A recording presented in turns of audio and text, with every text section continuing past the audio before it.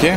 Hello, I'm Alex Bustillo, co-writer and co-director of uh, Inside Livid and Among the Living, and uh, hello to all the people of Sci-Fi World. All the same for me.